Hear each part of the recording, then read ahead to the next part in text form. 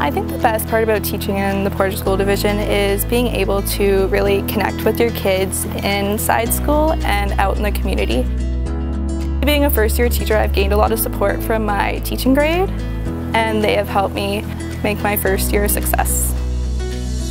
It's kind of a nice mix of big city vibes, but also the small town community.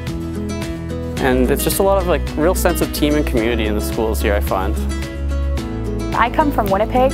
Um, I really liked the idea of teaching in a little bit of a smaller community. You really feel like even though we are in a city, right, it feels like a small community. You get to know a lot of people. The Portage School Division has to be one of the best at teaching. Once you try it, you'll realize it for yourself. Great staff, amazing students, and the most beautiful community. It really does have it all.